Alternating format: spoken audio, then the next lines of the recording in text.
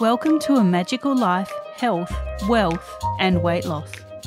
I'm your host, Magic Barclay, lead practitioner at Wholistic Natural Health Australia and number one best-selling author.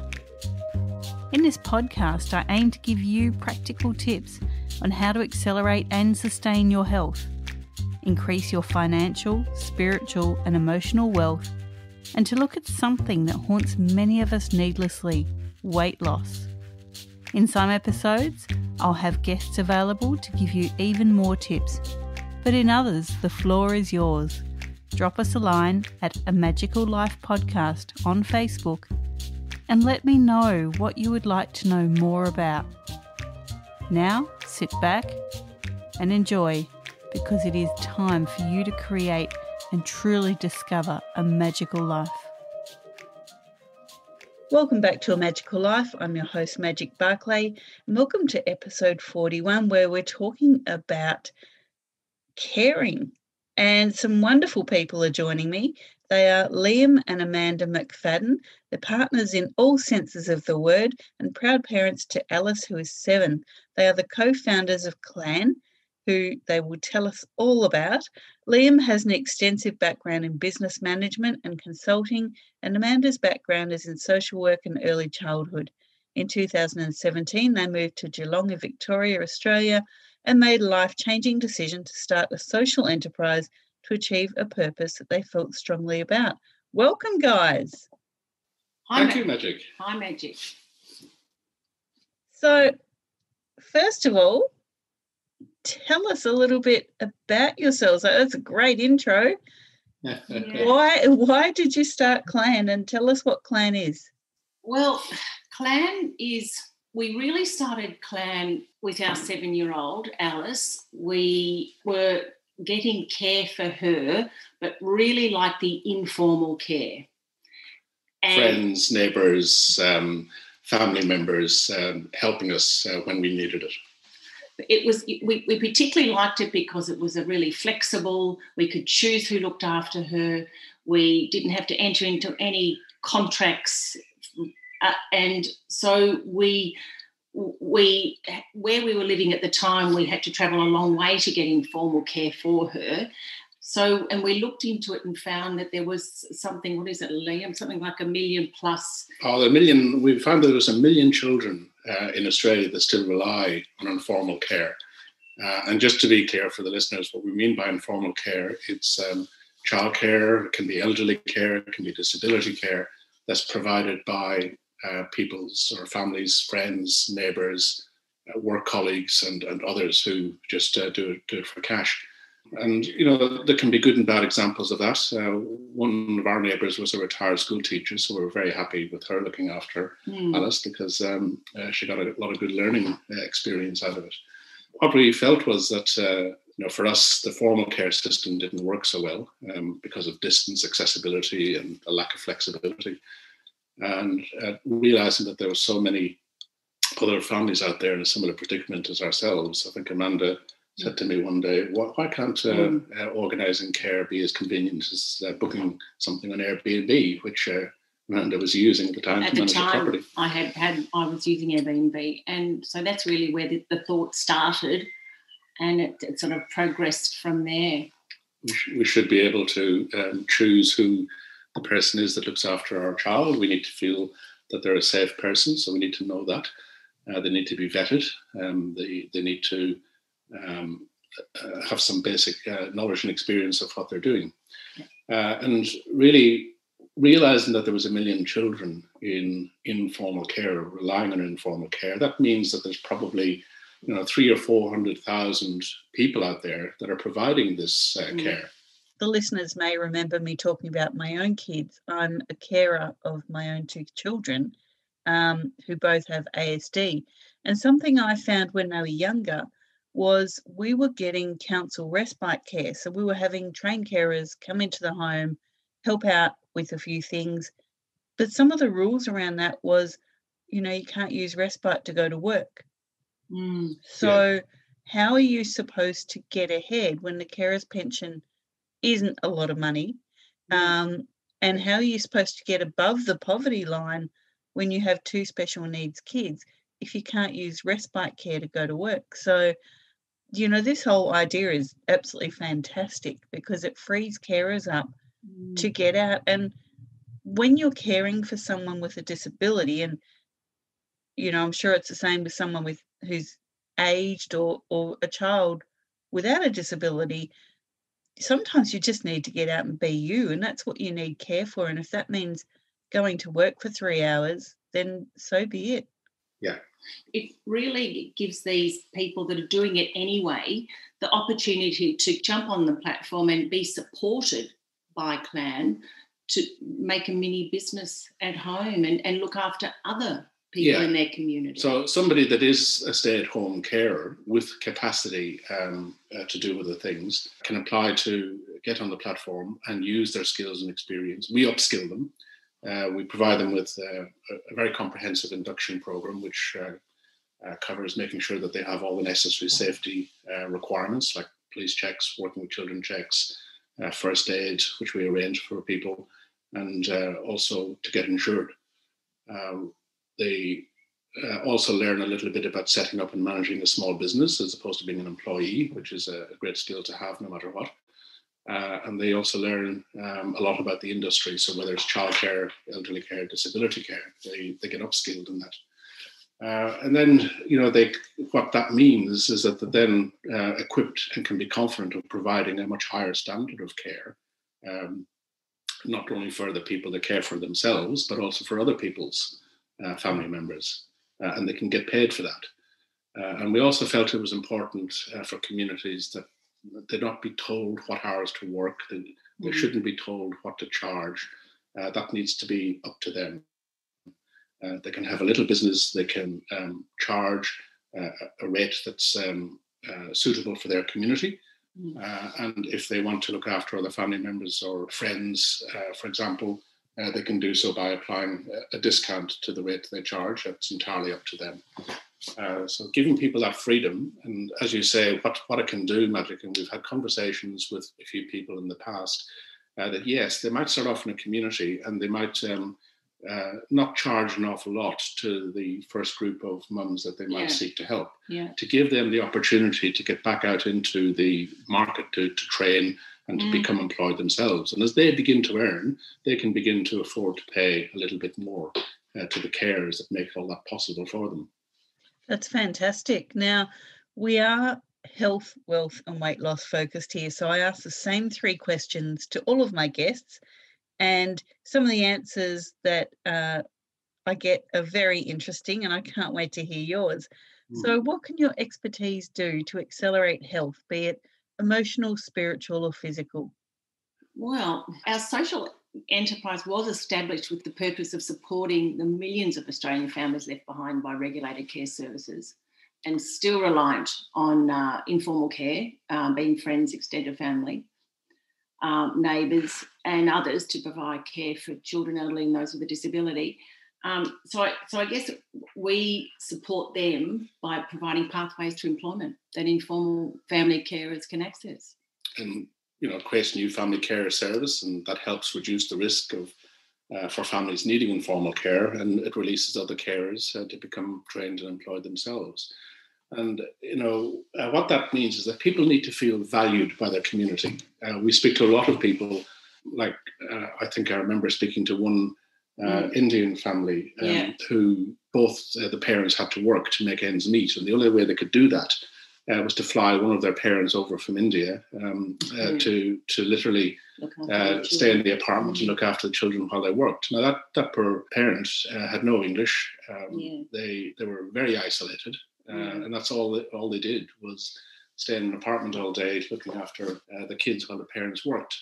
So I think that's a bit bit unfortunate. It's not a great uh, feeling for that for that person that feels isolated, because mm. uh, people need to feel valued by their community. It's a feeling that's often denied, I think, to stay-at-home carers. Yeah.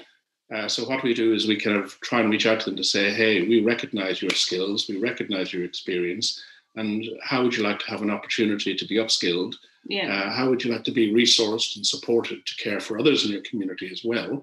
and as, as well as getting out there and meeting other people and, and being valued you can also earn an income yeah um, and if they actually like if they actually like that um, you know, we can also offer pathways to higher qualifications uh, for those that want to make a career of caring. And in our view, the well-being aspects of this shouldn't be underestimated. What do you think, Amanda? Absolutely. You've spoken oh. to a lot of people that, yeah, yeah, that, that they just, yeah. Uh, what about um, the girl in Sydney we spoke to, uh, who yeah. was a, a, social worker? Yeah, yeah, that's right. Yeah. And, and, she couldn't, she couldn't go back to work. She couldn't go back to work yeah. because she was supporting her mother-in-law. And, and, um, and, and so so she was really committed to, to to do that and wasn't able to get back to work as a social worker at all. But if she and she was very interested in this because then she could actually support her mother-in-law and others in the community. And the strange thing was that you know her she had the capacity to work, but what she couldn't commit to was regular hours. That was her only only handicap that she needed to be on call for where her mother-in-law needed her, uh, and so couldn't commit to regular hours, and so just got knocked back from from employment um, all over the place. Mm. But she had the capacity and the skills and the experience to work. So we. Can, I found that definitely when my kids were younger. Um, yeah. You know, like you send them off to school, something would go wrong. You can't expect a regular employer to understand that I have to go at a moment's notice and yeah. I might not be back for a week. But yeah. this is just the way it is because my family have to come first. Yeah. And the other thing around health with uh, carers with people with disabilities, and as I said, you know, this is my experience, listeners. I'm sure this transfers across to people with, um, you know, elderly patients that they're caring for or small children. But your health takes a dive as a carer unless you have some support. Yes. And this is where having, you know, some some mm. carers come in, even just to give you an hour to go for a walk. Yeah. Or go and get your hair done or your nails, or just go and have a cup of coffee or sit in the park or whatever you can be so exhausted as a family carer that you really do need that sense of community. And certainly on this podcast, we talk a lot about community. And on our Facebook pages, we encourage that sense of community. And that's often what carers, especially family carers, are lacking is that community, uh, you know, that that feeling of support. And so the health really does decline. Yes. Yeah. And in mm. our, in our view, Amanda and I always philosophically felt it was important. It does take a village. Yeah. That the the problems that you've just described, I don't believe, or we don't believe, can be solved by big business or by government. No. It's up to communities to support each other. Support each other. Totally agree with you there. It does take a village, and community is so important. So I'm just so glad we're talking about this today and that the listeners have an opportunity to learn more about what's out there. As you said, big business and government just can't provide the service that is needed to our community.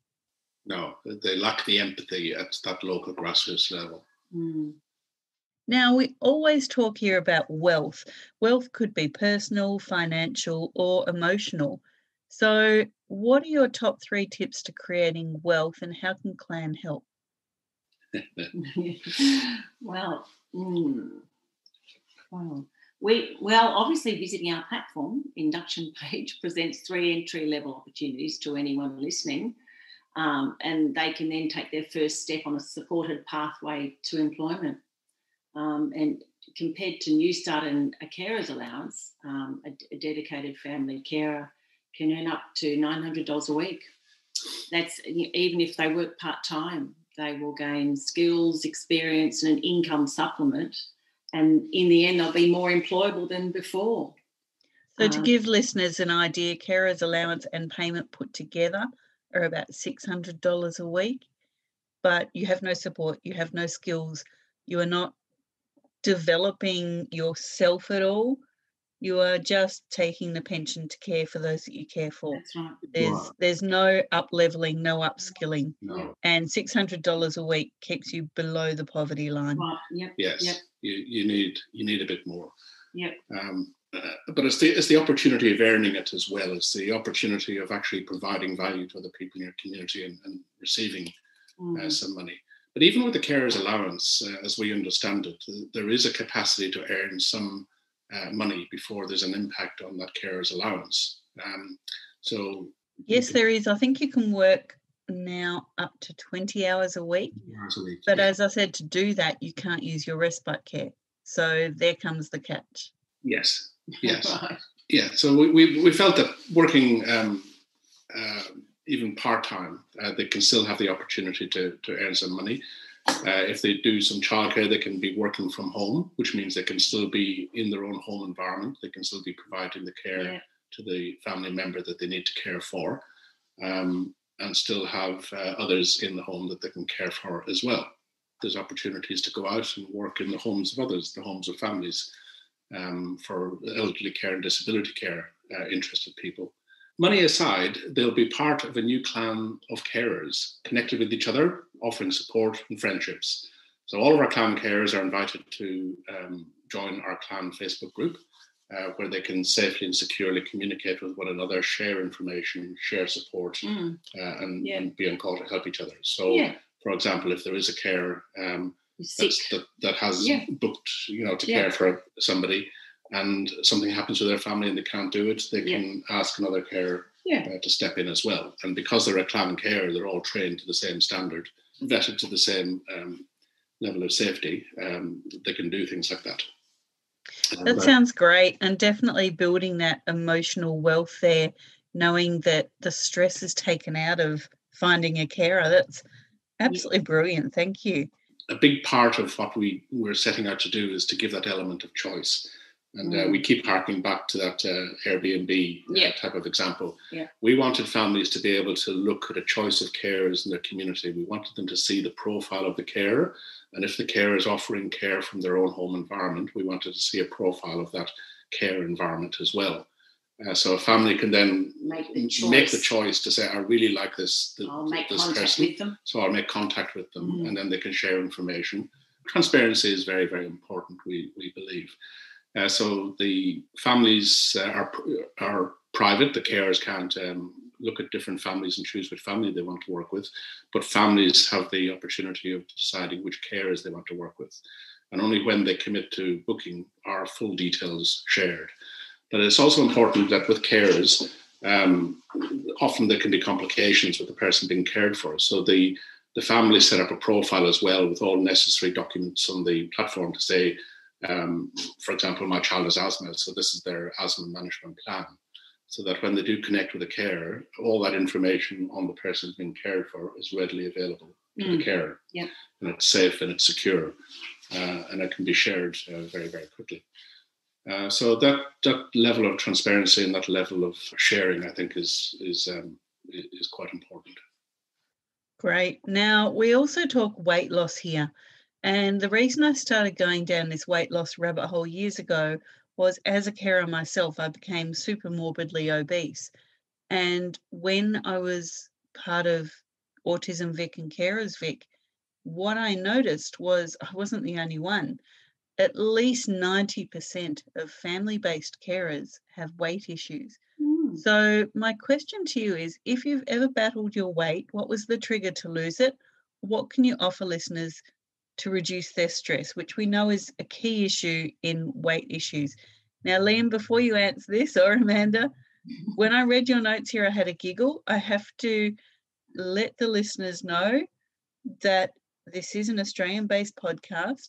And what you're about to hear, you may not understand, Mm. but Google it, YouTube it, because it's hilarious. And it just brought so many memories back to me. So over to you guys. Okay, well, Liam lives in a good paddock, that's for sure. Yeah. I, I, I've, I've roamed fertile paddocks myself, uh, I have to say, Magic. But, uh, Amanda doesn't struggle with it at all. She's um, uh, very, very active. It's not And it- yeah. not uh, not active in the sense of going to gyms or going to um, uh, doing that. It's just literally moving. It's moving around the house. It's uh, doing some gardening. It's um, uh, just being active around the property. Um, so there's no gyms involved. There's no special diets involved. There's just activity involved. Which carers are active? Well, that's you know part part of what we're trying to do is to is to encourage this activity.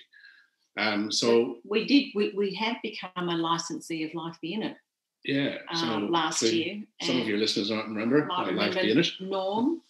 Yeah. Yeah, I, I relate very well to Norm. Um, so that's uh, he's a um, anti-hero of mine. Um, but we they're based uh, in Geelong like we are, and we do share values, and we call our program Life Be In It Family Care. Yeah. And uh, their mission is summarized in two Phases. simple phrases. Um, be more, more active and live more of your life. And so most people remember life being for the first one, uh, be more active, because that's the one that featured Norm, um, as I said, who I relate to. Uh, and so we do encourage family carers to focus very much in offering learning programs using healthy active play, Yeah. whether that's for young children or older children or um, even those with a disability or those who are elderly. There's Mm. always ways to encourage um, uh, learning and healthy Activity. activity. Mm. And it's that healthy activity that's really quite important, whether it's doing the gardening, whether it's uh, going for a walk, uh, it's, it's simple things. Uh, particularly with children in care uh, to reduce chronic preventable disease such as obesity. Yeah, it starts young. So if you if you can really get to um, work with children in their early years and encourage this activity, encourage the healthy active play, and learning through healthy active play, uh, that can do a lot um, to begin to reduce that risk of chronic preventable disease.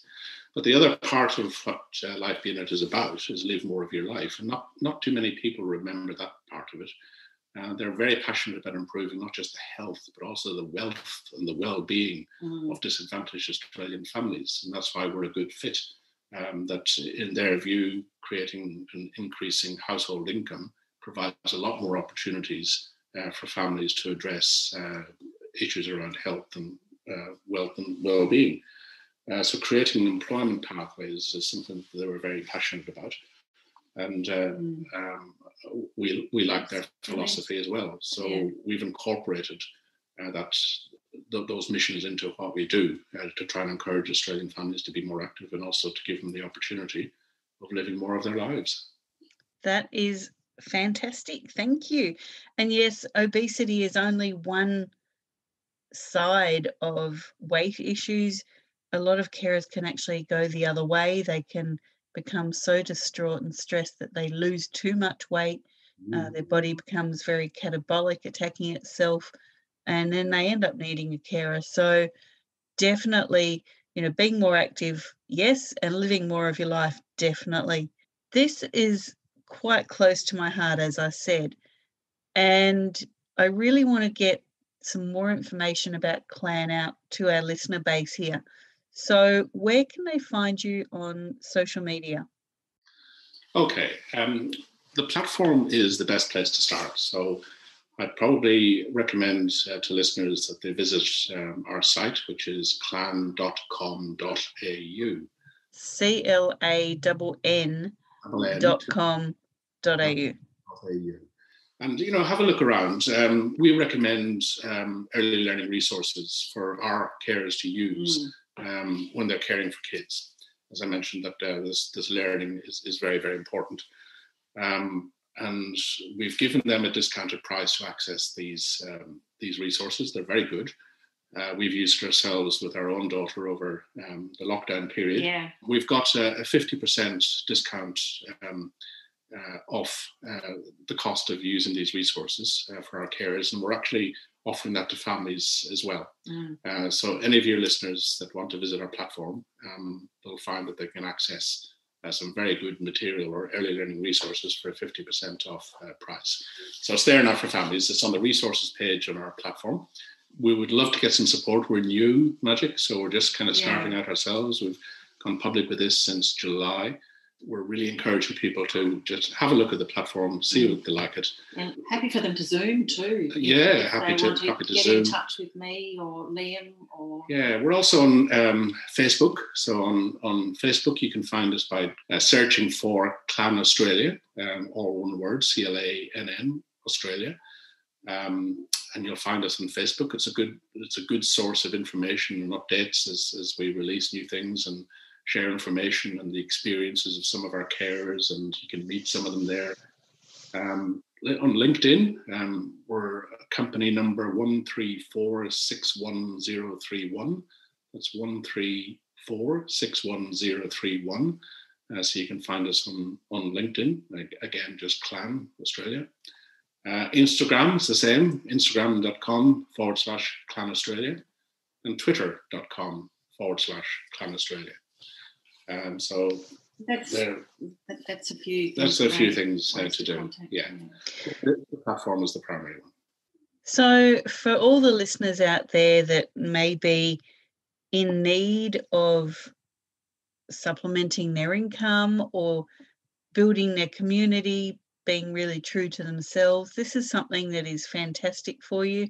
For all the carers out there to build your health, to build your wealth, your spirituality, be connected to community and have that support. Again, this is absolutely brilliant for you.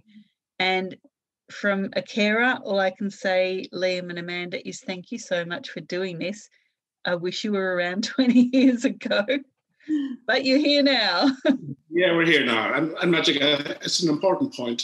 Uh, so, families um, that might benefit from Life Unit Family Care coming into their homes and helping them um, by setting up a profile on the platform, it lets carers or potential carers know um, that there are families interested in this particular service. And it'll encourage maybe one or more of those families to actually become carers themselves and help the others in their community. Brilliant. Thank you so much, Liam and Amanda, for joining us today on A Magical Life. Coming up in some episodes in the future, we have people talking about van life. Maybe being a carer would fit in with the nomadic van life as well. Uh, we have people coming on talking about functional health solutions, of which you can find more information at wholisticnaturalhealth.com.au. And we have some amazing coaches sharing their expertise with us and a couple of spiritual guides. So, looking forward to some more episodes coming up. For now, Thank you, Liam and Amanda, and listeners, go forth and create your magical life. Thanks for listening today. Please subscribe to hear future episodes, leave a review, and share this podcast. You can follow us on Facebook at A Magical Life Podcast or at Wholistic Natural Health Australia. That's holistic with a W.